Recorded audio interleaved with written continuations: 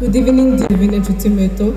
I'm contestant number time given the chance to proceed to the next round and I emerge as Miss Rwanda 2022. I will embark on raising the culture of saving in young people through my project named Igicheri Youth Program. I derived this project from a government-initiated project that started in November 2014, which was mainly for the well-being of women, which also significantly changed the lives of several women. Ladies and gentlemen, imagine the difference it would make to the lives of young people, considering the fact that we take 60% of the Rwandan population.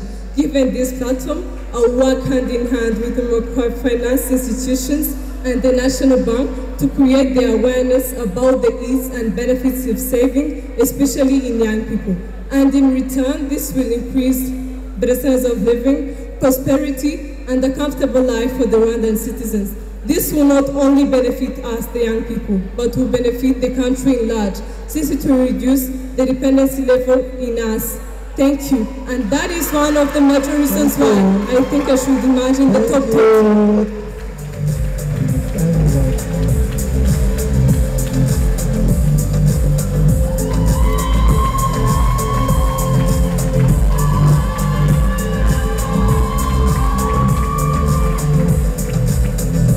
Iwacu dignity home care iyi ni intaho y'amahoro n'umunezero. Yakirana ubwuzu abageze mu zabukuru batagifite imbaraga zo kwiyitaho cyangwa babitaho. Kimwe n'abasazanye indwara zibasaba kwitabwaho by'umwihariko nka diyabete kanseri umuvuduko w'amaraso kwibagirwa n'izindi. Muri iwacu dignity home care bagukorera isuku ijyanye n'icyubahiro kigukwiye. Ugahabwa ifunguro rihuye n'ibyo umubiri ukeneye. Baraguhuza n'abavuzi ndetse banagufasha gufata imiti neza no gukurikiza inama za muganga. Hari n'imyidagaduro irimo no kugutembereza bigufasha kuruhuka no gusabana. Ni mu gihe kandi kuko bafite abakozi bazobereye mu gutanga izi serivisi bifashisha uburyo n'ibikoresho bigezweho bituma bagukurikirana ubudahumbya. Wowe uri mu rwanda ukeneye izi serivisi rero nawe uri mu mahanga wifuza gusazira mu rwakubyaye shyikira iwacu dignity home care. Urugo rwuje urukundo n'ubumuntu aho wiyumva nk'uri iwawe mu muryango. Niba wumva kandi wakwitabwaho uri iwawe